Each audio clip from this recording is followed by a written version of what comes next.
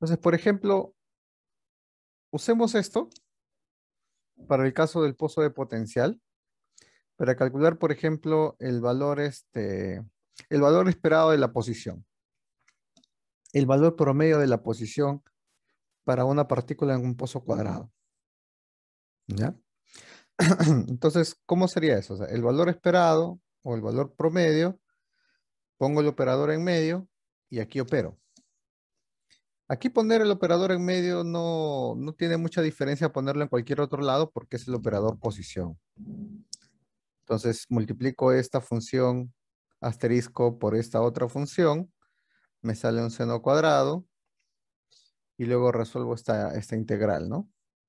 Reduzco el cuadrado, hago la reducción del cuadrado, este, obtengo esta otra integral, esto sale cero y por lo tanto la posición media me va a salir a medios.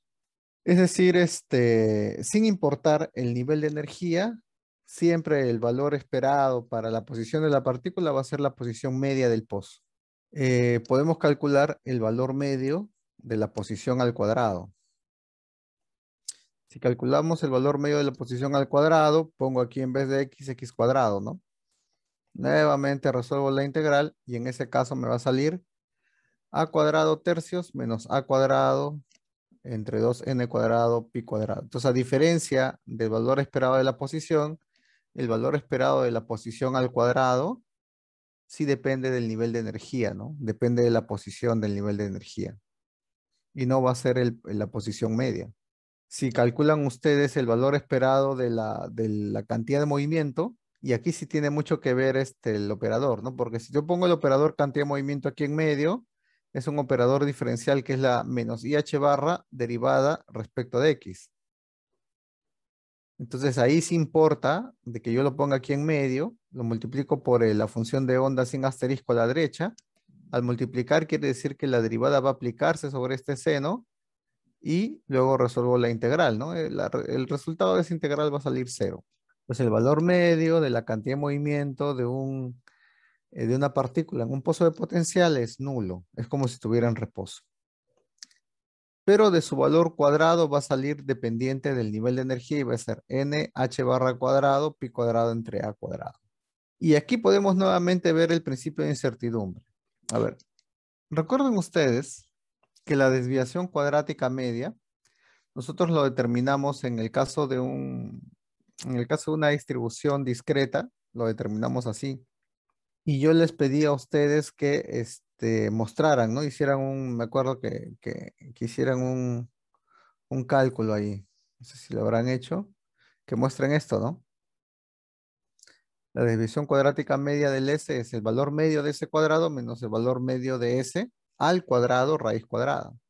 Entonces, para obtener esa misma relación aquí en mecánica cuántica, el valor cuadrático medio similar a este se calcula también así, pero calculando valores medios o valores esperados, ¿no? Que sería esto. Por lo tanto, esto de acá sería igual a la integral de phi asterisco por todo esto, por phi diferencial de x. Pero si ustedes, por ejemplo, hacen esa integral, reemplazando en la integral, van a poder mostrar de que sale justamente lo mismo, ¿no? Sería la media de a cuadrado menos el, valor medio elevado al cuadrado. Entonces, si ustedes aquí, por ejemplo, calculan la, la, desviación cuadrática media para la posición, obtienen esto. Entonces, sustituyen aquí el valor medio de x cuadrado, que es esta cantidad. Sustituyen el valor medio de x, que es a medios al cuadrado. Y van a obtener a cuadrado entre 12 menos a cuadrado entre 12 en el cuadrado pi cuadrado calculan la desviación cuadrática de la cantidad de movimiento. Esto de acá es cero, entonces solamente me queda el valor medio de p cuadrado, que es esto. Y si ustedes multiplican las dos desviaciones cuadráticas de la posición y la cantidad de movimiento, obtienen esta cantidad. Entonces va a depender del n, ¿no? El mínimo valor de este n ocurre para n igual a 1, o sea, para el nivel base del pozo de potencial, y sale 0,568 H barra. Eso es mayor o igual que H barra medios, ¿no? Por lo tanto, se está cumpliendo el principio de incertidumbre en este sistema, pero noten que no se está llegando al valor mínimo, ¿no? Se llega a 0,568 H barra.